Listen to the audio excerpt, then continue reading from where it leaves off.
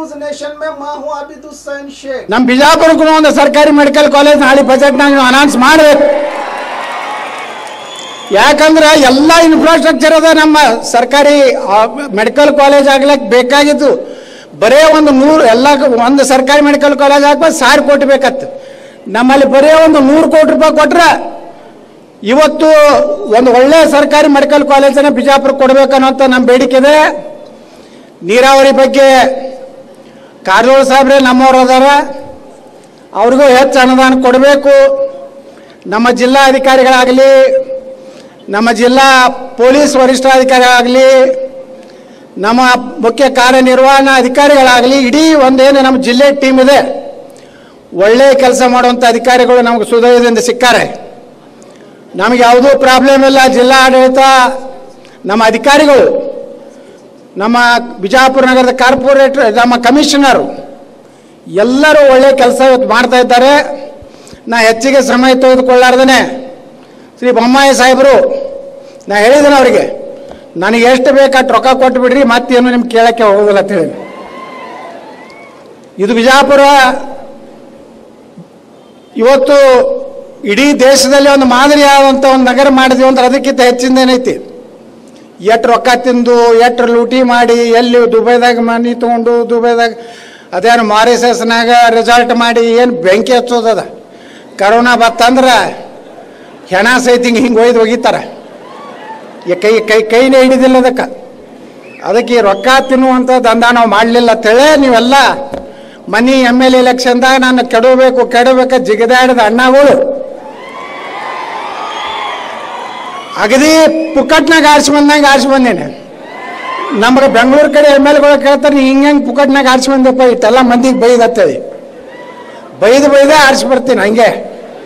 ಕೆಲಸನೂ ಮಾಡ್ತೀನಿ. ಇವತ್ತು ಅಡಿಸೆ ಕೋಟಿ ರೂಪಾಯಿ ಇತ್ತು ನಮ್ಮ ಡಿ ಸಿ ಅವರು ಹೇಳಿದ್ರಿ ನಾ ಈಗ? ಸರ್, ಭಾಳ ದೊಡ್ಡ ಸಮಸ್ಯೆ ಹೋಯ್ತು. ಅದು ಉದ್ಘಾಟನೆ, ಇದ್ರ ಭೂಮಿ ಪೂಜೆ, ಎಲ್ಲ ಒತ್ತಾಟೆ. ಹೋಲ್ ಆ್ಯಂಡ್ ಸೋಲ್ ಒತ್ತಾಟೆ ಮುಖ್ಯಮಂತ್ರಿಗಳಿಗೆ ಮಾಡಿಸಿದ್ದೀವಿ. ಇದನ್ನೆಲ್ಲ ನೋಡಿದ ಮ್ಯಾಗ ನನಗೆ ವಿಶ್ವಾಸ ಇದೆ. ಮುಖ್ಯಮಂತ್ರಿಗಳು ಮತ್ತೊಂದು ಎರಡ್ನೂರ ಐವತ್ತು ಕೋಟಿ ರೂಪಾಯಿ ಪ್ಯಾಕೇಜ್ ಕೊಟ್ಟು ಹೋಗ್ತಾರೆ ಕೇಳ್ಕೊಂಡು ನಾನು ಎರಡು ಮಾತು ಮುಗಿಸ್ತೀನಿ. ಜೈ ಹಿಂದ್, ಜೈ ಕರ್ನಾಟಕ. ಯಾರನ್ನ ಮುಂದುವರಿಸಬೇಕು ಯಾರನ್ನಲ್ಲಿ ಕುಂದರ್ಸ್ಬೇಕು ಅನ್ನುವಂಥ ತೀರ್ಮಾನ ಜನ ಮಾಡ್ತಾರೆ. ಆದ್ರೆ ಐವತ್ತೊಂಬತ್ತು ತಿಂಗಳು ನಾವು ರಾಜಕಾರಣ ಮಾಡಿದರೆ ಯಾರಿಂದ ಆಯ್ಕೆ ಆಗಿದ್ದೇವೆ, ಯಾರು ನಮಗೆ ಈ ಒಂದು ಸ್ಥಾನ ಮತ್ತು ಸ್ಥಾನದ ಬಲವನ್ನ ಕೊಟ್ಟಿದ್ದಾರೆ, ಯಾರು ಅಧಿಕಾರವನ್ನ ಕೊಟ್ಟಿದ್ದಾರೆ, ಅವರಿಗೆ ನಾವು ದ್ರೋಹ ಮಾಡ್ದಂಗೆ ಆಗ್ತದೆ ಇದನ್ನ ನಾವು ಇವತ್ತು ಕರ್ನಾಟಕದಲ್ಲಿ ರಾಜಕೀಯ ಹೊಸ ಮನ್ವಂತರವನ್ನ, ಒಂದು ಹೊಸ ವಾತಾವರಣವನ್ನ ನಾವು ಎಲ್ಲರೂ ಸೇರಿ ಮಾಡಿದರೆ ಆಡಳಿತ ತನ್ನಿಂದ ತಾನೇ ಸುಧಾರಣೆ ಆಗ್ತದೆ. ಅಧಿಕಾರಿಗಳು ತನ್ನಿಂದ ತಾನೇ ಸುಧಾರಣೆ ಆಗ್ತದೆ. ಇದು ಬಹಳ ಮುಖ್ಯ. ನಮ್ಮ ಮುಂದೆ ಎರಡು ಪ್ರಶ್ನೆಗಳಿದ್ದಾವೆ. ನಾವು ಮಾಡುತ್ತಿರುವಂತ ರಾಜಕಾರಣ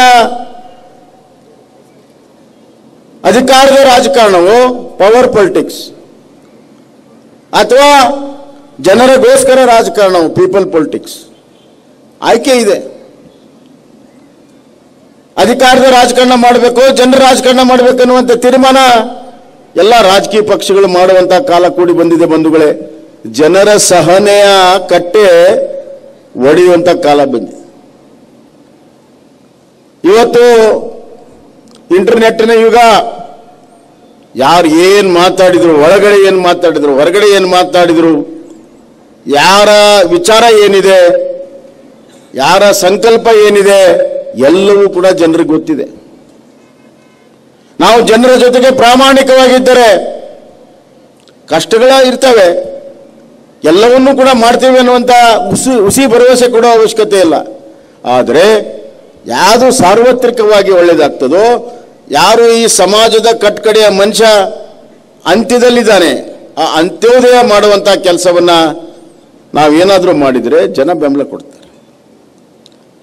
ಈ ಮಾತನ್ನು ಯಾಕೆ ಹೇಳ್ತಾ ಇದ್ದೇನೆ ಅಂತಂದ್ರೆ, ಉತ್ತರ ಕರ್ನಾಟಕದ ಅಭಿವೃದ್ಧಿ, ಹೈದರಾಬಾದ್ ಕರ್ನಾಟಕದ ಅಭಿವೃದ್ಧಿ ಬಗ್ಗೆ ಬಹಳಷ್ಟು ಮಾತುಗಳಾಗಿದೆ, ಕಾನೂನಾಗಿದೆ, ಬೋರ್ಡ್ಗಳಾಗಿದ್ದಾವೆ, ವರದಿಗಳು ಬಂದಿದ್ದಾವೆ.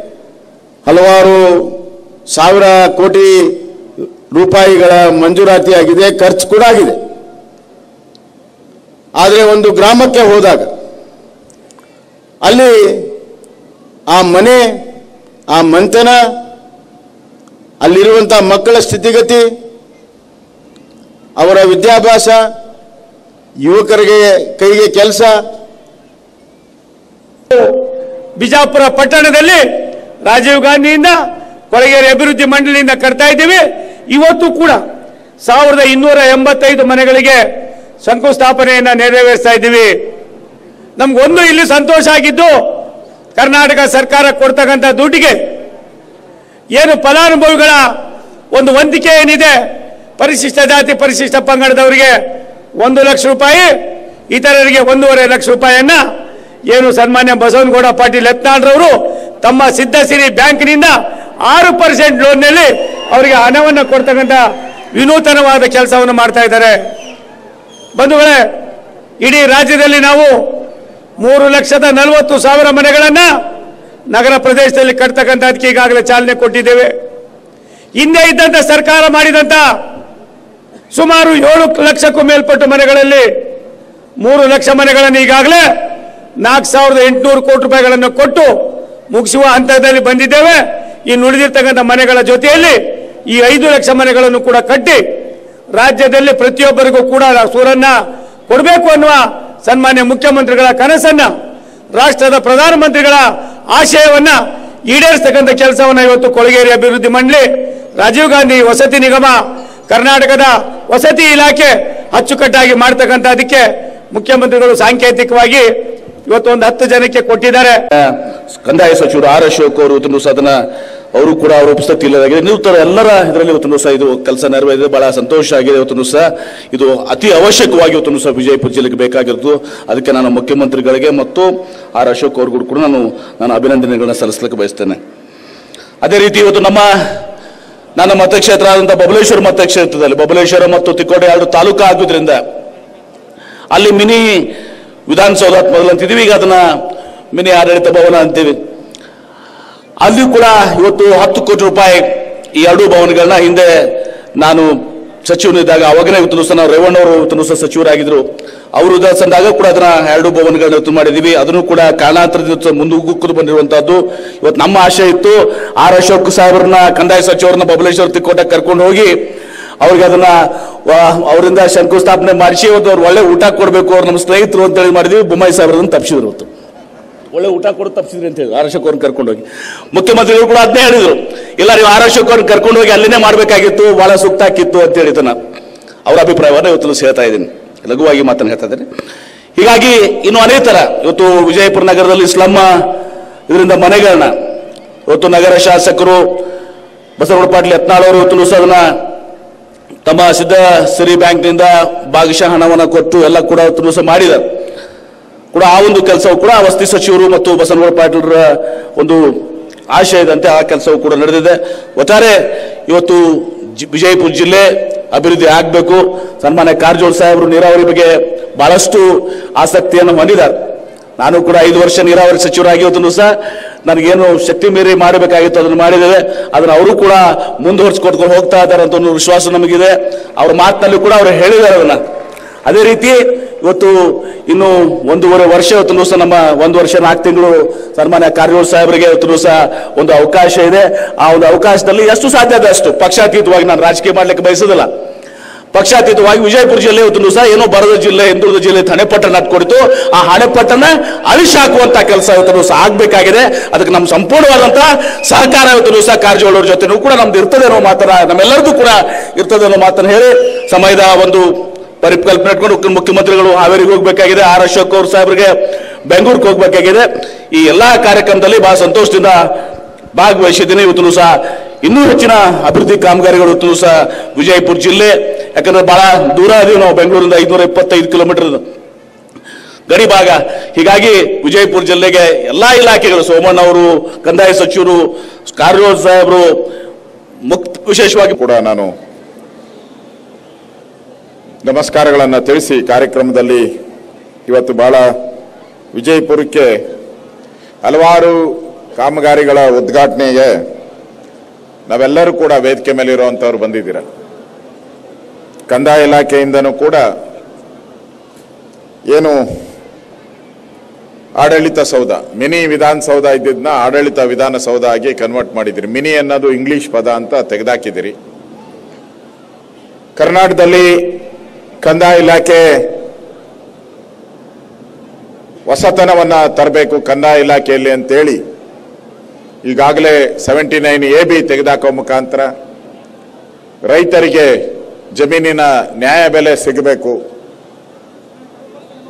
ಕಂದಾಯ ಇಲಾಖೆಯಲ್ಲಿ ಆಗ್ತಾ ಇರತಕ್ಕಂಥ ತೊಂದರೆಯನ್ನು ಸರಿಪಡಿಸಬೇಕು ಅನ್ನೋ ದೃಷ್ಟಿಯಿಂದ ಸೆವೆಂಟಿ ನೈನ್ ಎ ಬಿಯನ್ನು ತೆಗೆದಾಕಿದ್ದೀರಿ. ಈಗಾಗಲೇ ಮುಖ್ಯಮಂತ್ರಿಗಳ ಜೊತೆಯನ್ನು ಮಾತಾಡಿದ್ದೀನಿ. ಮುಂದಿನ ದಿನಗಳಲ್ಲಿ ಈ ಕನ್ವರ್ಷನ್ ಅಂತ ಇದೆಯಲ್ಲ, ಆ ಕನ್ವರ್ಷನ್ ಅಲ್ಲ, ಮತಾಂತರ ಅಲ್ಲ. ಜಮೀನನ್ನ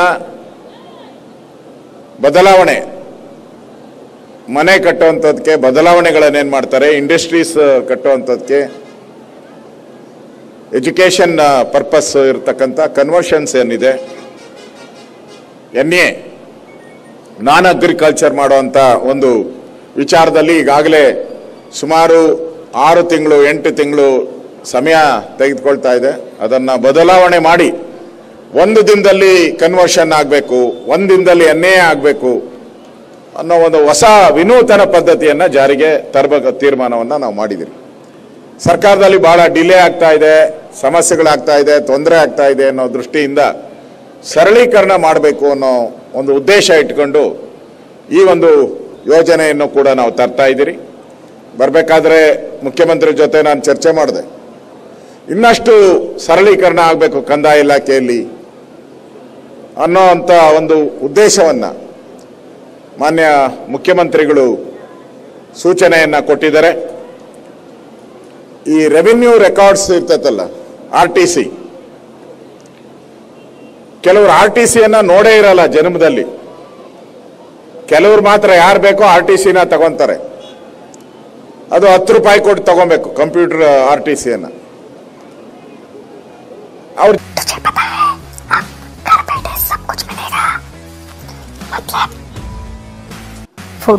Gosling.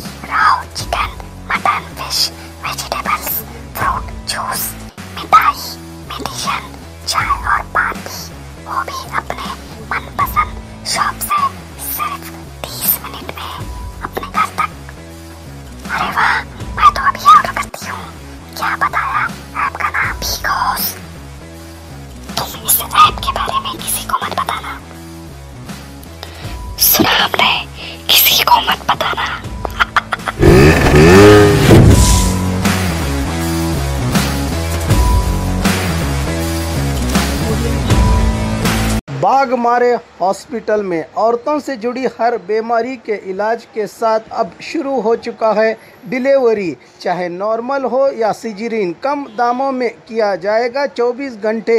माहिर डॉक्टरों की निगरानी में अस्पताल का पता, सखाफ रोज़ा, चार नंबर स्कूल के करीब बीजापुर। और खबरों के लिए देखते रहिए बी न्यूज़ नेशन।